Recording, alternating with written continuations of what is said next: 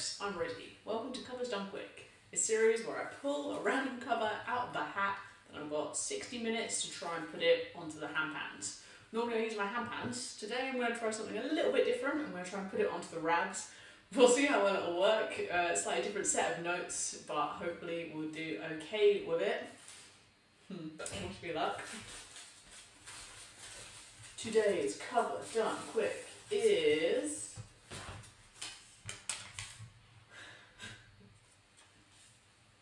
Celine Dion. My heart will go on.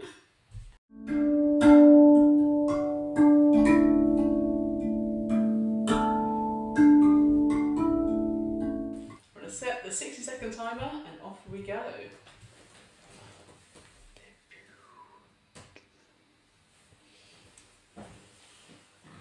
So normally I use my hand pans that are tuned in E major, but here I wanted to try something a little bit different. Ravs are a type of tongue pan. They're kind of similar to hand pan in that they're on your lap, made metal, and you hit them. Uh, and they've normally got a sort of similar note layout, but they are different instruments. They've got a really different sound, much longer sustain, um, and very different tonal quality. So I'm excited to dive in, give this a go. As I say, this is a new one for me, but let's have a try. Anyway, the first thing I do with uh, Covers Done Quick is listen to it. Genuine Is that the most epic key change in any song? Doesn't matter, we won't get to do it. We're in D major no matter what. so as I was having a listen through, I was trying to work out what key it is, and I think the original is in E, maybe, uh, or the version I heard. Uh, but to make it fit on the rav, I've got to make the main note, the, the, the key, uh, in the D in D major. It's so much slower than I remember as well. So that will be a fun, not rushing challenge. And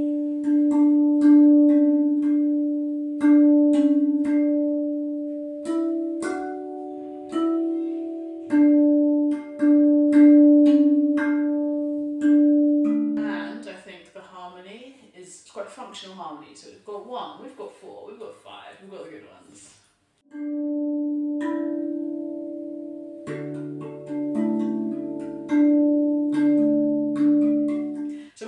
Limited number of notes on this instrument. On my hand pan, I think I have 17 notes, uh, and here I've merely got nine, which means that I can't have the melody soaring over the top of the chords, the harmony and the tune. I've got to kind of have them in between, so I'm going to need to use the audience's imagination a little bit more to pick out the right notes. And when I think of the, the, the chords,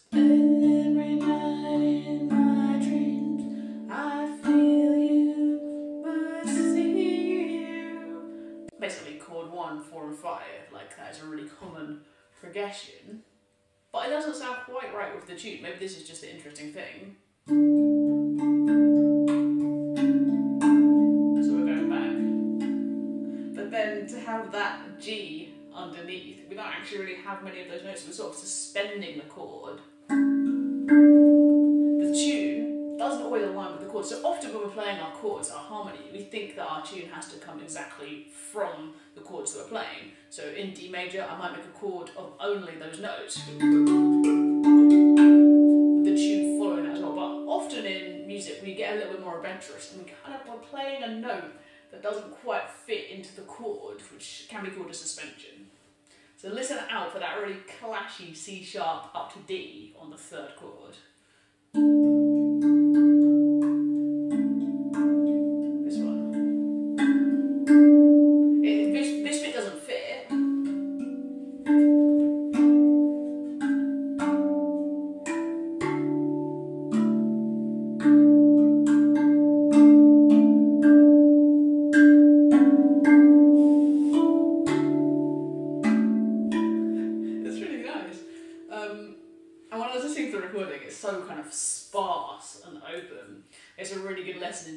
To not be too all over the place, which I can't with this rav anyway because the notes ring on.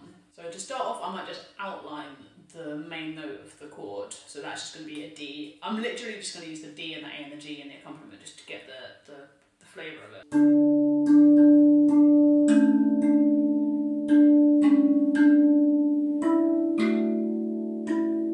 then the second time through, I might put a little bit more movement in the accompaniment.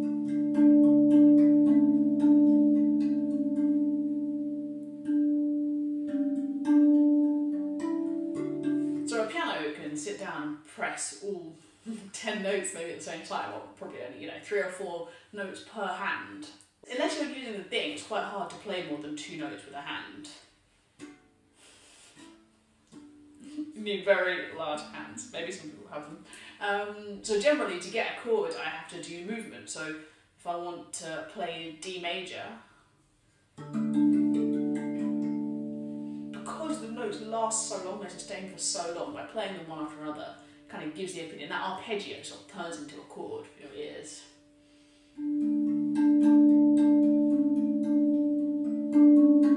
Listening to the recording, this song built, oh my gosh, I think I'm already getting excitable, but I might I might bring like a shaker and like a frame drum and stuff into my final recording because it's got this kind of constantly building feeling, uh, which can be fun. So I might do that. So let's look at the next bit.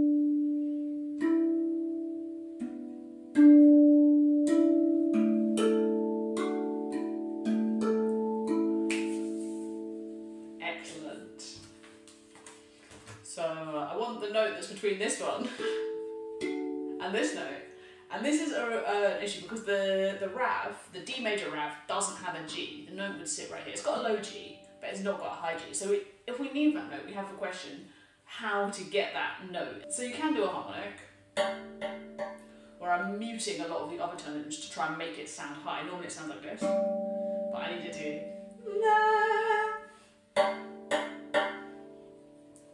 But this is reason I'm lucky enough to have two. So uh, if for notes up here,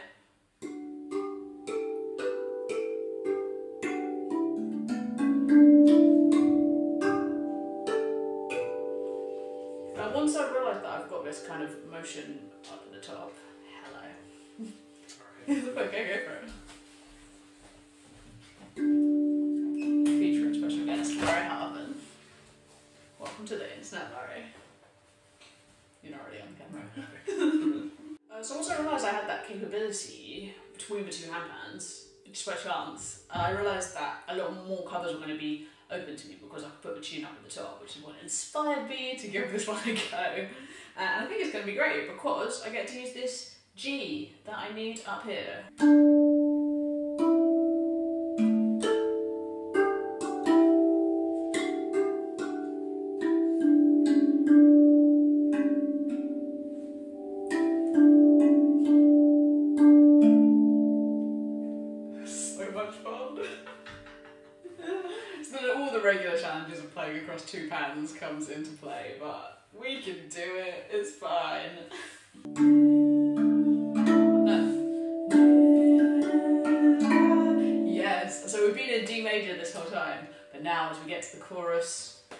Down to the relative minor, B minor.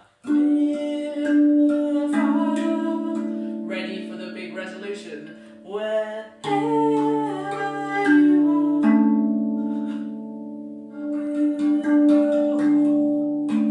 Oh yes, and this is a really nice chorus. It's a really long chorus. It's the same words twice. Uh, but the first time we have an imperfect cadence. It's not finished. It ends on an A. And the second time we have a perfect cadence. It is done. Cadences are when we're finished with that little phrase in music. Boom, we finish on D, I think.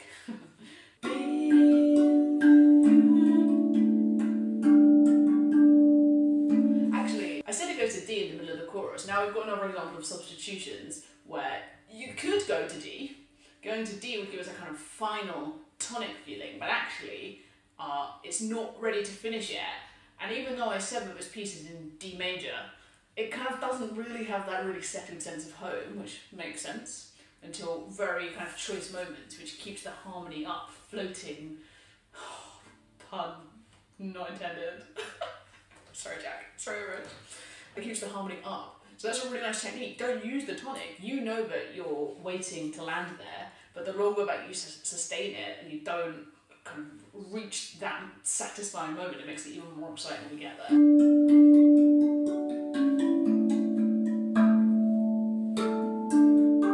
At the moment, there's a big pause as I try and remember what note or chord comes back next.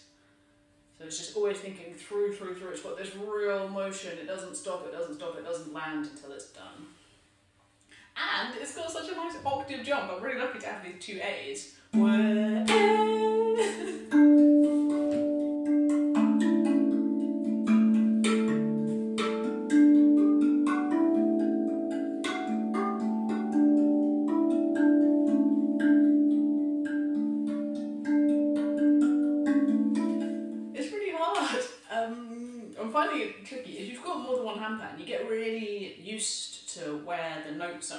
and to thinking which note com- comes next. And this is the first time I've tried to do a cover um, on a slightly different instrument with a layout that's slightly different. And it's fun, but moving across the different notes takes a real, really forward thinking. So, gonna be a little bit boring and just practice.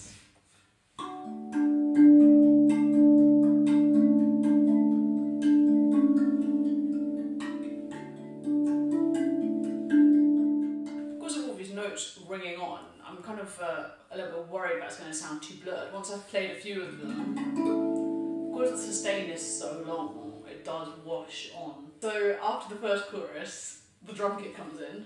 Zoop,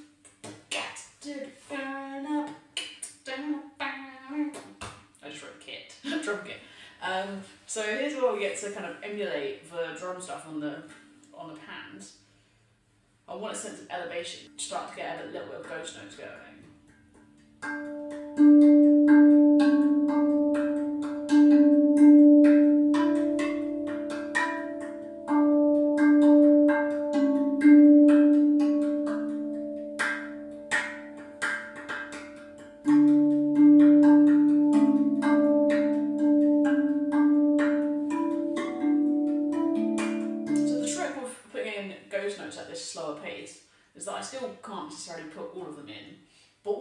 All is always this.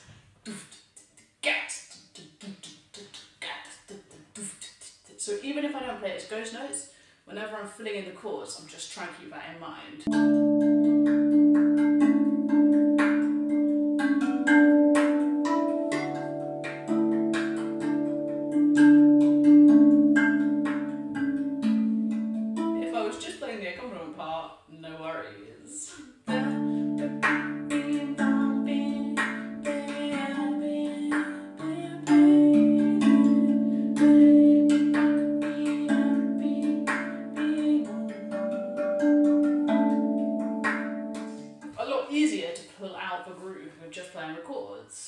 I'm not. I'm trying to play the tune as well. So sometimes I kind of have the wrong hand free to put that in. So that's where I start having to do doubles in the ghost notes. This is where the ghost notes can get quite um, a mind mess. To try and move it fluidly from side to side of the instrument, trying to move it between the hands. So now it's trying to get those grooves filled in by the free hand.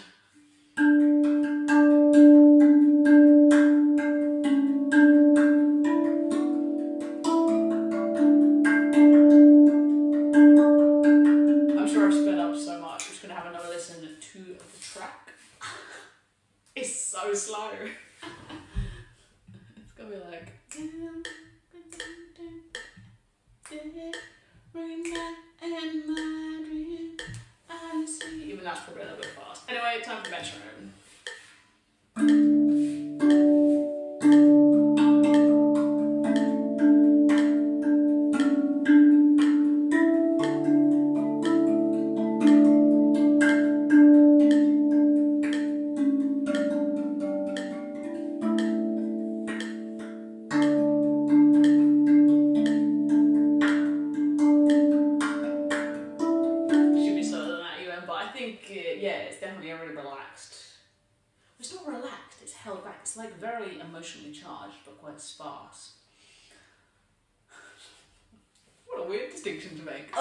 forgotten the main bit.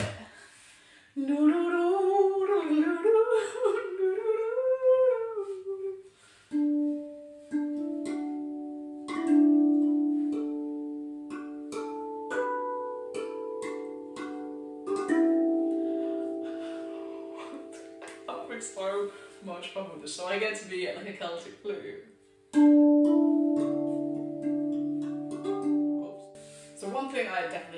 the slides between notes that the flautist does.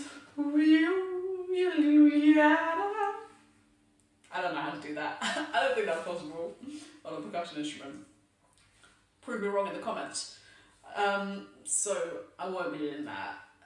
But how can I play more like a flute? This this music, this kind of folk idea that we're going for is kind of slightly arrhythmic. It's got these kind of melismas or these ornaments onto the notes, which I might try and replicate. So we spend a lot of time in percussion trying to get our hands doing the same thing as each other and our beats coming out really evenly. But for this little intro, to try and make it different, I'm gonna sort of rush and pull, so using sort of rubato and sort of accents to try and make it sound more like a flute player is fluting it.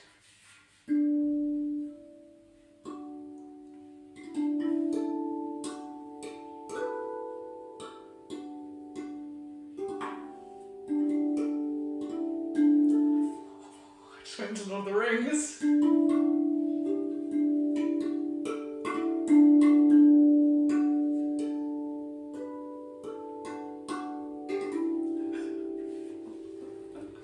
I did not realise they were so similar. Maybe Lord of the Rings is the next cover, right? Uh, there it is. No, keep it Celine Dion. I mean, in terms of structure, straightforward. Keep it straightforward. You know, no epic key change, unfortunately, because I don't have facilities.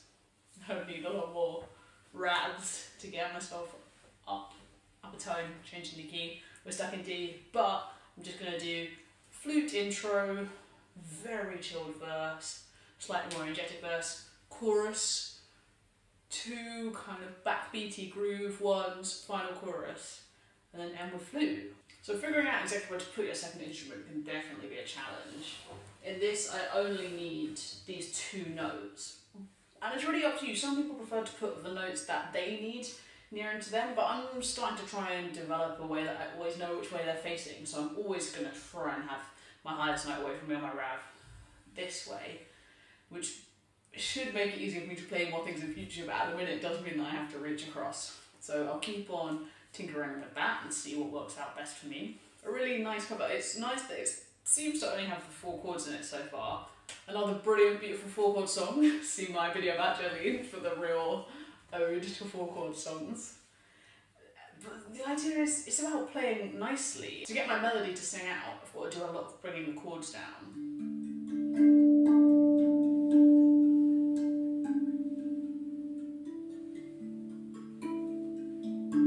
This is really definitely an exercise in dynamics. I'm just going to check my speed one more time. It's so easy to rush when something is slow and spaced out. It's so easy to rush forwards. I will try my best to keep it sat back on the beat. Uh, definitely going to sprinkle in through a few spread chords. Leaning into that note, rushing towards it.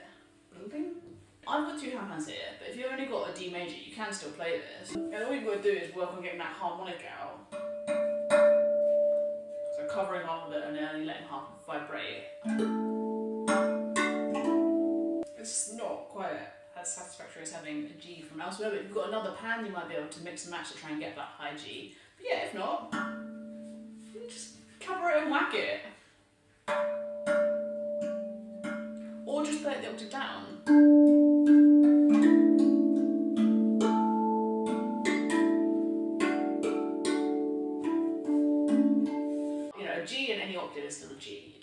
Quite sound as melodically smooth to have it down there. And if you've got another player or instrumentalist or singer around, you don't even have to worry so much about playing the tune. I think ravs and handpans are brilliant for harmonically holding down uh, the chords. You can just get them to sing and you just move the chords underneath.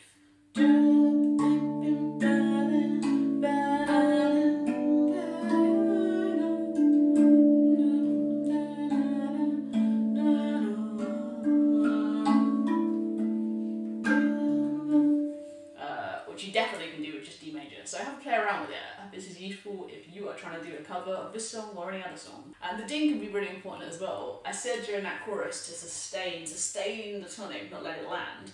And I actually do touch onto D. But by not having the main D, the main ding, it still doesn't feel as rooted, and that's to do with the inversion or which way up the chord is sitting. So final. The main things to remember is to just go through slowly. Firstly, sing the tune. You've got to have it in your head before you can try and get it on any instrument. Then just work out the melody. The next step is to work out the chords. You can do that by listening uh, or by using a piano, but you can also do that online. Let someone else do the hard work for you. I'll put all the chords in this video so you can have a go at this one to start yourself off. And then just try and put them together. Nice slow practice till you've got the whole song. I'll probably just cover up uh, and record it and release it in a few days, hopefully with a bit of shaker and stuff. But this is it. Enjoyed it, don't forget to like, comment and subscribe for new videos every week, handpan covers, whatever you like. Thanks for watching.